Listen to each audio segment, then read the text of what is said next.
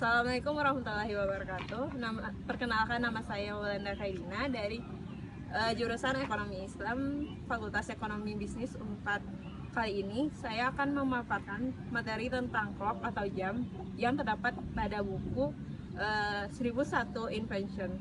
Selamat menyaksikan. Jam merupakan alat yang berfungsi untuk menunjukkan waktu. Sama halnya dengan makhluk hidup, jam mengalami evolusi dari waktu ke waktu. Berikut ulasannya. Pertama, di zaman dahulu, manusia menggunakan matahari sebagai penunjuk waktu mereka. Soalnya, di saat matahari terbit di timur, itu menandakan bahwa pagi hari. Di saat matahari tepat berada dan di atas kepala, itu menandakan siang hari. Dan di saat matahari tenggelam di barat, tandanya hari mulai memasuki waktu malam. Itulah pemikiran dari manusia purba. Yang kedua, karena matahari tidak bisa menunjukkan waktu yang detail, maka tercetuslah sebuah alat yang bernama clock. Material utama dari alat ini adalah dua buah vas dan air. Vas yang digunakan berbentuk corong dan tepat dasar tengahnya terdapat sebuah lubang. Vas yang lainnya berbentuk tabung ditempatkan tepat di bawah vas corong. Cara kerja dari transitus ini yaitu vas corong diisi air hingga menyentuh permukaan. Lalu, air tersebut jatuh ke dalam vas tabung sehingga tidak ada air yang tersisa di vas corong. Titik-titik air yang jatuh dianggap sebagai detik. Biasanya, transitus mengukur waktu per maupun per tergantung besar atau kecilnya lubang pada vas corong. Transitus ini digunakan pada tahun 1500 sebelum Masehi di Mesir. Jam yang ketiga, masih menggunakan prinsip kerja dari transitus, namun terdapat beberapa modifikasi. Ini bernama Gatica Yatra. Material utamanya menggunakan sebuah mangkok yang terbuat dari batok kelapa ataupun bisa dari tembaga. Lalu, mangkoknya lebih besar dan tentunya air. Kesamaan prinsip kerja dengan transitus adalah pada dasar tengah mangkok terdapat sebuah lubang. Cara kerjanya, mangkok yang lebih besar diisi penuh dengan air.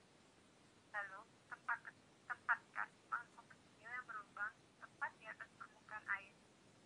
Mangkok kecil tersebut akan mulai tenggelam.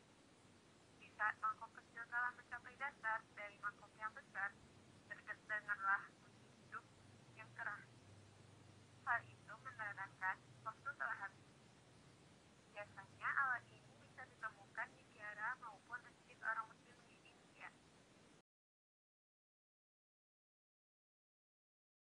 Abad ke-13, Al-Jazari, seorang ilmuwan yang berasal dari India sebagai Tenggara.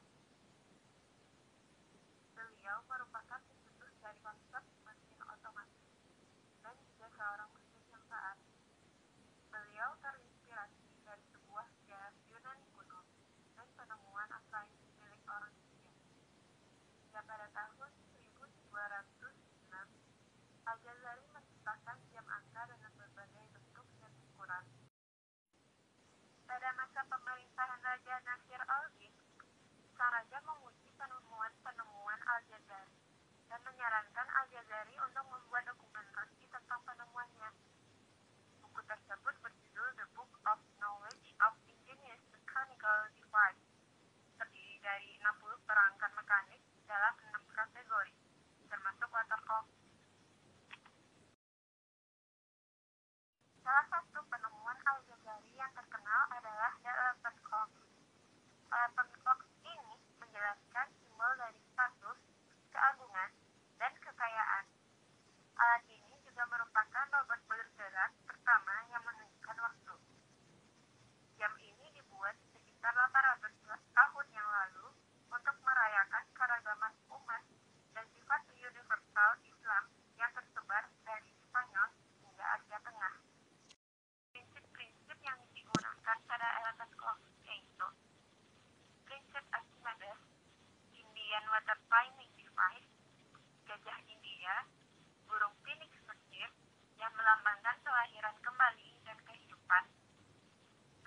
karpet, karpet Persia, naga Cina yang melambangkan kekuatan dan sifat tak terkalahkan. Diketahui bahwa rekonstruksi dari Dilotan Kok dibuat di Ibnu Badutomol di Dubai dengan tinggi 7 meter, bebas